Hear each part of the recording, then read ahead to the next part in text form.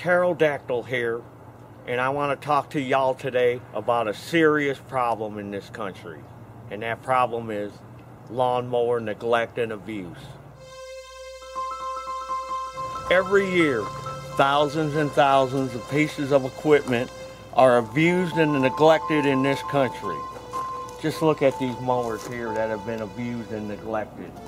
50 cents a day. You can sponsor a tractor like Joey here who'd been forced for five seasons to suck air through the same air filter. Like little Alfredo here, whose alcoholic owner sold parts off of him to feed his habit of alcoholism. What a shame. Grass bags, just lying here forced to collect dust instead of grass. That's why your 50 cents a day is so important. To help lawnmowers, like Andy here, whose owner starved him for fuel on a regular basis. Just 50 cents a day, the price of a dipstick O-ring tube gasket. You can sponsor one of these here pieces of lawn equipment, like Conrad here.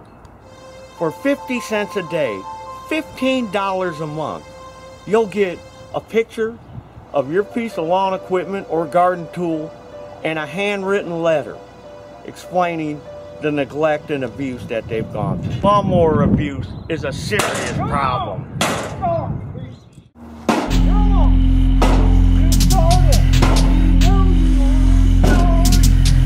I hate you. I hate you. So please, please donate today. Help little Conrad out and join our YouTube channel.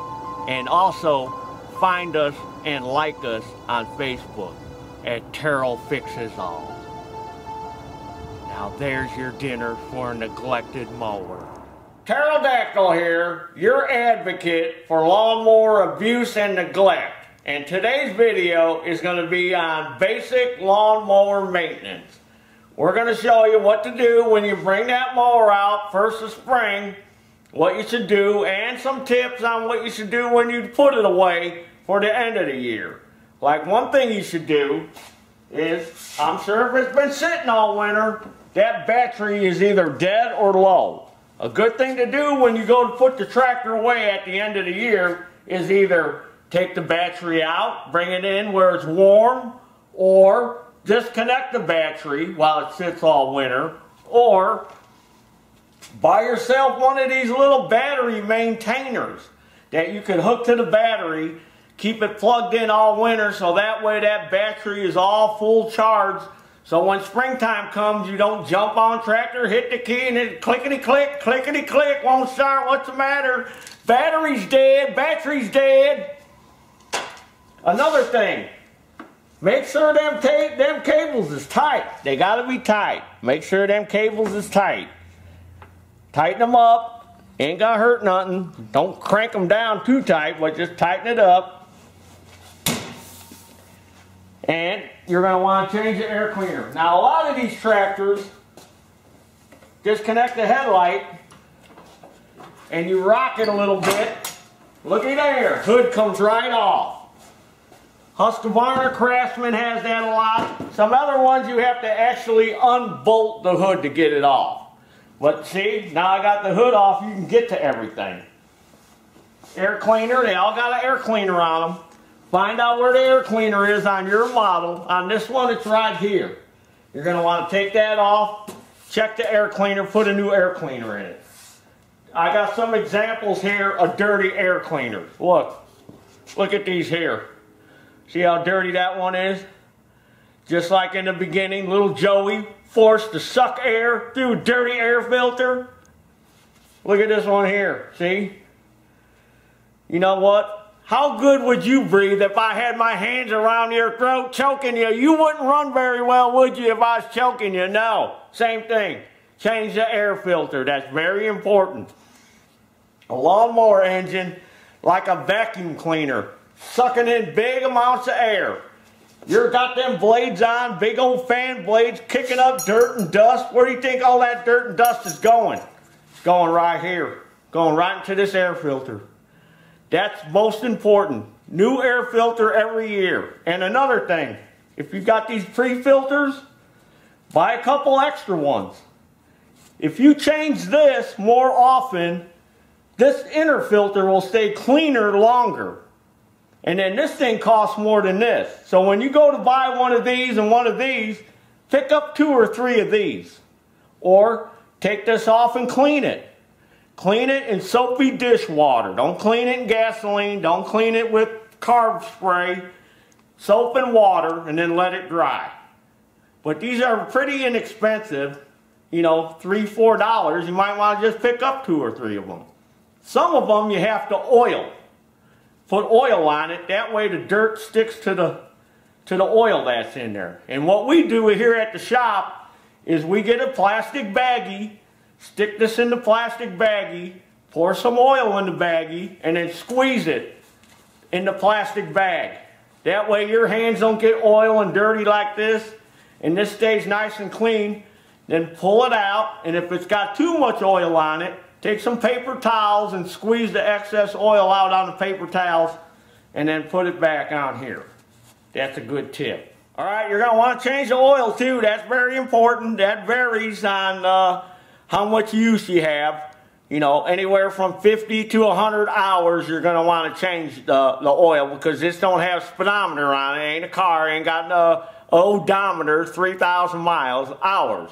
Now, this one's got an hour meter. So you're going to want to change the oil. There's a drain for this one to drain the oil, and there's the oil filter. So what we do is when we change oil, we get a new oil filter, we write on it. You can write the date so you know when's the last time you changed it because you forget, you know, you forget, oh, I just changed that oil a little while ago. No. Date says you changed that in 2013. That's two years ago. So, or write the hours on it. Write the hours and the date. So that way you know exactly. Oh, okay, it's been 100 hours, so I need to change that oil. Or another thing, like we use here, this is kind of expensive, but you might want to get one if you change a lot of oil. This is an oil sucker. So what we do is we get the engine hot, because it comes out better when it's hot, and then we stick that tube down in there we kind of give it a oil uh, colostomy or, or whatever they call that. We just shove that down in there when it's hot, give it a couple pumps, it sucks the oil right out.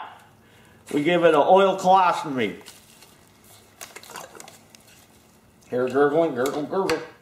All right, let's look here at the dipstick of this oil here. Look. See, that's good clean oil there. You can see through it. Now, if you can see through the oil, then it's pretty clean. But if it's dirty black like that, that's bad. Another thing is if you run the motor and you see exhaust fumes coming out of here, that's a sign of a blown head gasket. So be aware of that. And another way to tell you got a blown head gasket is the oil's going to be real black and dirty, even after maybe you just changed it and don't even have 50 hours on it. That's because that carbon monoxide is mixing with the oil because the blown head gasket is forcing the, the smoke fumes inside the crankcase. And that's why when you pull this out, you're going to get a little bit of fumes out of there. But if you get a lot where it's just pouring out of there, you got you may have blown head gasket. So that's one thing to check.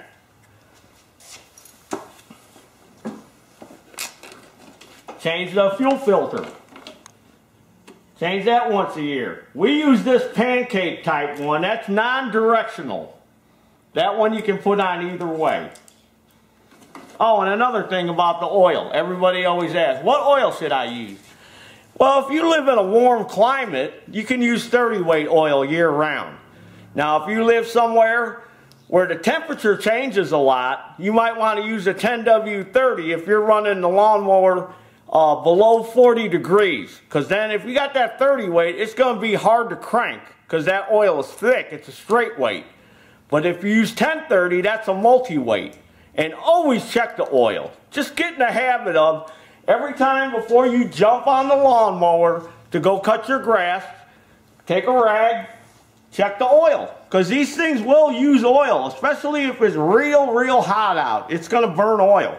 You don't want it to run out of oil. That's like you running out of blood. You ain't gonna run too good if you ain't got no blood in you. All right, now we're gonna talk about the blades and the belts a little bit, but the blades. This one's got mulching plug on here. So this guy's mulching. He's mulching. Now, the way a mulching mower works is, it only works good if you're only cutting off an inch of the grass at a time. If your grass is real tall and you got this mulching plug on, and you're going to go try to cut your grass, it's going to do a real crappy job on cutting the grass. And then all that grass, it ain't got nowhere to go, so it's going to get all clogged up underneath there. That's why it's only good if you cut an inch of grass off at a time. Now he's got the mulching blades on here. And these blades, zoom in on that cameraman, I hope you are, they're not that bad. Now, they make these blades, which in my opinion, these blades do a better job of mulching. See them teeth? They got taro teeth on them. It'll chew up that grass. It cuts it, sends it through there, and cuts it up real fine. I actually like these blades, and a lot of people like these blades. These are taro teeth blades. Might want to buy some of these. And then here is an example of a wore out blade. Look at that. That blade may look good to you, don't look good to me. We have people bring them in, hey, you sharpen that blade. I go, that blade's wore out. Oh no, it's still good. I go, no, that blade's wore out. See? Here's the exact same blade. Look. Looky here. See how much that's wore out? You need this sharp edge. And if you notice, this much of the blade is doing the cutting. Because look, this is still good right in here. So this is all that does the cutting, is this much of the blade. Okay, the blades, they only go on one way.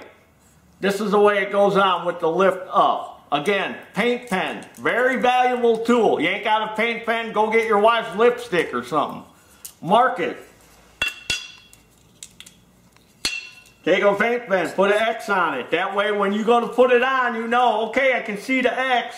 See, like this one, can you zoom in? It says grass side on it. Sometimes it says that.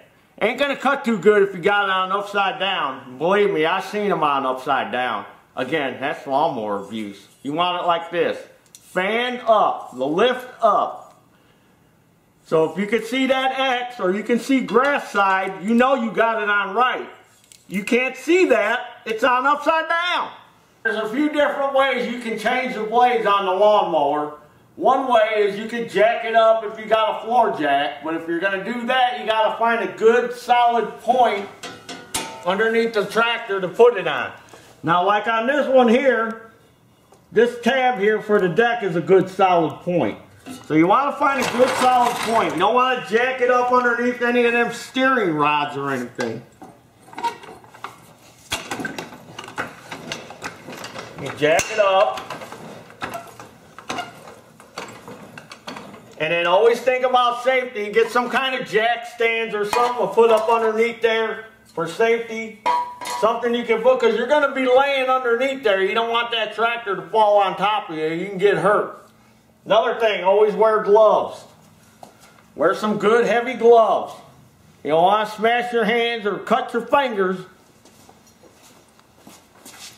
Now here at the shop, we take the blades, we use the impact. But no, not a lot of people have an impact. So if you got to do it by hand, you want to get a good long wrench. So you got leverage. Now, you could do this when it jacked up, or you could do it by taking the deck off like we took the deck off here and you can flip it upside down.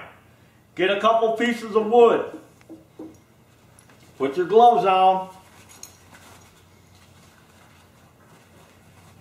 And remember, righty-tighty, lefty-loosey. There's not too many lawnmowers that have left-handed threads. They're all pretty much right-handed. You know, and then you're going to have to get down, get some leverage. See? And you can take it off. Make sure you get it nice and tight when you put it back on too. Now if you live in an area of the country where you got a lot of sand, that sand will wear these blades out like that. That's what happens when you're in sandy areas. It'll wear them out. And these blades, they go under a bunch of different names, but the most common is uh, gator blades. They call them gator blades. Not taro blades. I call them taro blades, but they're gator blades. And another thing, you want to keep the deck clean. Take a leaf blower. You got a leaf blower, air compressor. Keep that grass from accumulating under there. Because that's going to make it, you know, sticks and stuff get in there and that's what makes belts jump off. I've seen little bits of stick get wedged in the V of the pulley and it'll make the deck shake. Another thing that'll make a deck shake is if you got a flat spot on, on the belt. And that's usually if you're trying to make the lawnmower do what it ain't supposed to do. Like if you're cutting real high grass and you're trying to go as fast as you can, that's bad. What that does is kind of slows the blades down from cutting, but the engine ain't going to slow down. It's going to keep spinning, and you're going to wear a flat spot on that belt, and every time that flat spot hits a pulley, it's going to make the deck shake. So if you got a shaking deck, chances are you got a flat spot on the belt. You need to pull that belt off and look Oh yeah, looky here, flat spot, that's why it's shaking. Go up and get a new belt. And then now we're going to talk about part numbers so you can help the man at the lawnmower shop find your parts. All right, a lot of equipment now has stickers under the hood. Got to lift the hood. And it's got the part numbers of a lot of the popular parts. Belts, air filters, blades. Write them down or take your smartphone Take a picture of it. Take it to the place at the lawnmower shop. Help that man out at the lawnmower shop. He don't know what tractor you have. Oh, I need 42 inch blade for my 42 inch mower. What kind of mower you got, sir? Oh, I got an orange lawnmower. Well, that don't help me. You got a model number? Uh, orange, model, orange? I don't know. Part numbers. Under here. Look for them. Or if you have a book. Or look under the seat. Here's where the model number is. It's not like a car where you go, oh, I got a 1984 citation. It ain't like that. You got to have all these numbers so they can find you the right parts. That's very important. Help the guy out at the counter. All right, now the model number for the engine is different than the model number for the tractor. It's not like your car we're Chevy and Ford, they make the engine, they make the car. Lawnmowers, somebody makes the lawnmower like this one, Husqvarna, but Husqvarna don't make the engine, see? It's made by Kohler. So you need parts for the engine, you need to get that off the engine tag. And those numbers could be anywhere. They're all different places. On this one's right here. Some Briggs & Stratton, if it's an overhead valve motor, it's stamped in the valve cover. Or it's on this shroud. There's a tag or there's little numbers stamped in there. You have to find them. Save yourself some time and trips back and forth and find these numbers and information. Hang on to your books and manuals. Write stuff down. Document everything. It all helps. Another thing you want to do is tire pressure. These things sit over the winter time. You can lose air in the tires. So you're going to want to go around, check all the tire pressure. Not like Matthew out there whose owners for, didn't put air in his tires. Poor little fella. 10 in the rear, 14 in the front. That's rule of thumb for most lawn tractors out there. Another thing, uneven tire pressure. On a zero turn, make it cut or drive funny and cut funny. You got funny cutting deck, could be tire pressure. Got low tire here, low tire there. It's going to sit to one side. Zero turn won't drive straight. First thing you're on, check, tire pressure. So tire pressure is important. Check that too. All right, another thing to do is spark plug. Change the spark plug. You got a problem where the motor won't run? First thing you do, change the spark plug because that's real cheap and simple and you can eliminate that right away. Again, with the plug plugged air filter, not getting a lot of air, choking you out, you're getting less air, more fuel. So if the plug's black, that means it's running rich. Ain't getting enough air, getting more fuel than air, fouled out plug. Could be something as simple as that.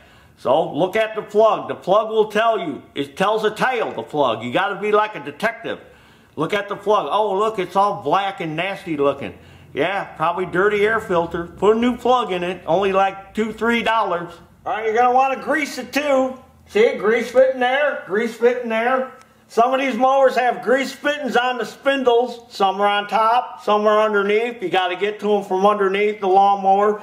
You might have to scrape grass and stuff away, so do all that too. Clean the deck too. Got to keep the deck clean. If you got clumps of grass under there, get under there and clean it out.